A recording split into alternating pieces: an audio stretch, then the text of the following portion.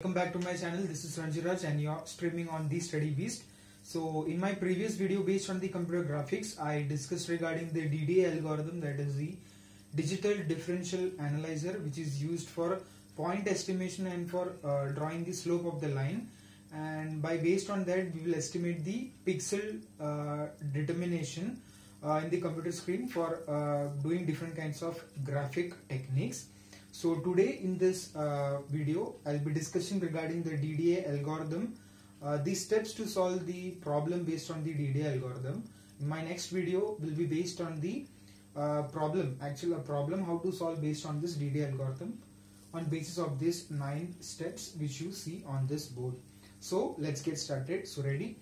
Uh, so first of all uh, we have to accept the endpoint coordinates like we will be given two endpoint coordinates or two set of endpoint coordinates like the x1 y1 and x2 y2 next after that we calculate the dx dx uh, mind you is a small portion.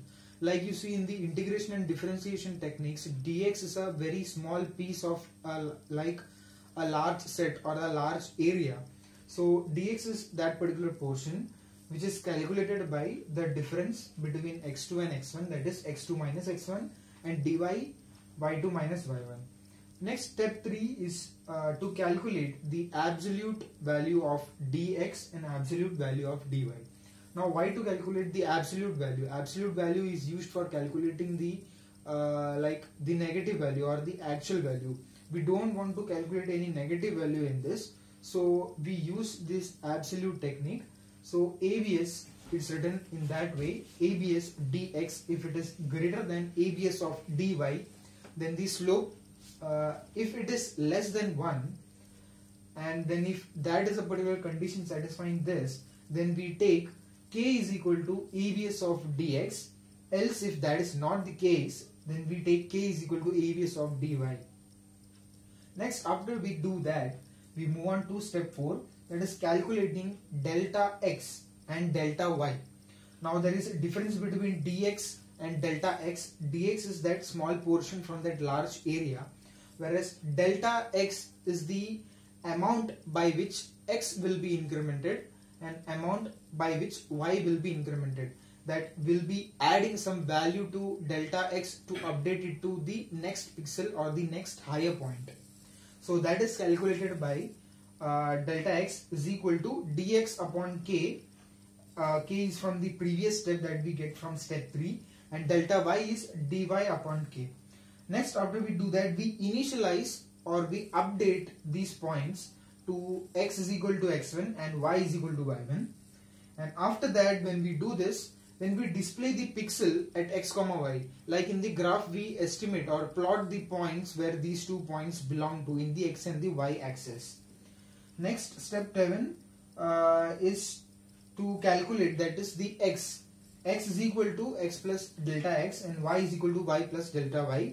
Uh, that is the amount by which x and y will be incremented successively. Uh, next in uh, step 8 we calculate the pixel at round x and round y. Round will be used for calculating. If there is for example a floating point integer or a uh, long integer is there and if that contains some uh, decimals in between so we cannot plot a actual decimal point in the numerical problem. So in order to avoid those we round it off to a pure integer. Like the rounding off is done uh, more similarly like if it is more than 5 then we move to the uh, next highest integer. For example if it is 102.6 then we round it off to 103 or if it is 102.2 then we will consider it as 102 that's it. So after we do step 8 uh, then we move on to step 9 and step 9 is to repeat this step 7 and step 8 k number of times depending upon what your k is. If k is 3 k is 5 then you have to repeat it that many times. So this is the algorithm. And now we move on to the advantages and the disadvantages which we haven't covered in our previous sections. So the advantage is that it avoids floating point multiplication.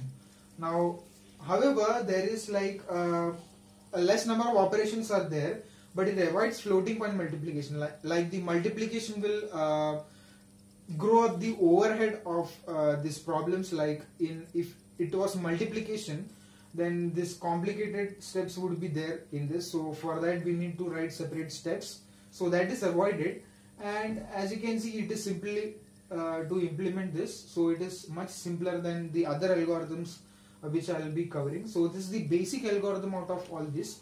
And the disadvantages of this is that it requires floating point operation. Like you cannot avoid those operation but like addition is required. So addition is a floating point.